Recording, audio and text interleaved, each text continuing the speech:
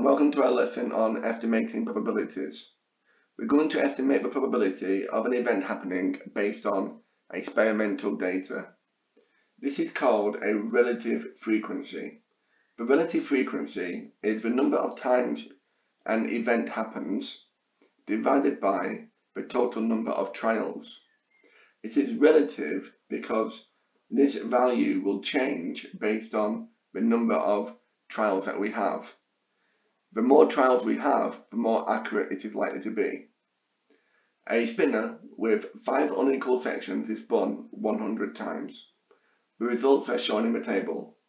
We can estimate the probability of a purple section as 24, which is the number of times the outcomes happens, divided by 100, which is the total number of trials.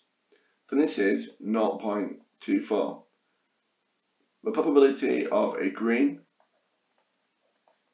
it happens 32 times and the total number of trials is still 100. So this is 0.32. We could also say 32%. The probability of a blue, again, we have 14 trials out of 100 in total, so 0.14.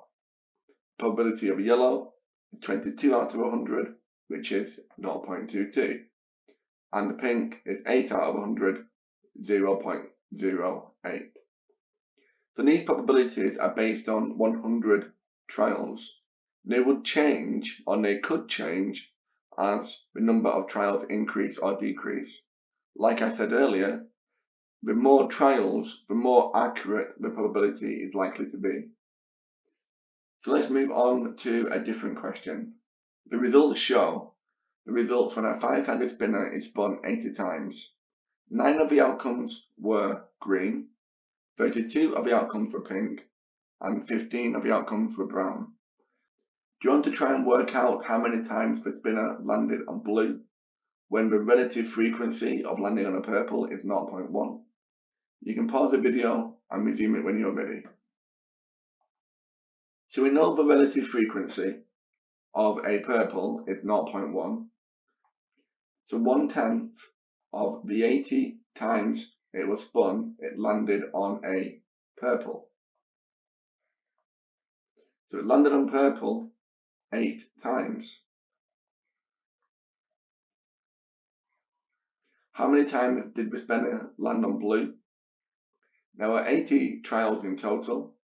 So 80 minus the purple minus the green the pink and the brown is 16. So it would have landed on blue 16 times. Okay, thank you very much for watching. I hope you found that useful. Thanks again and take care.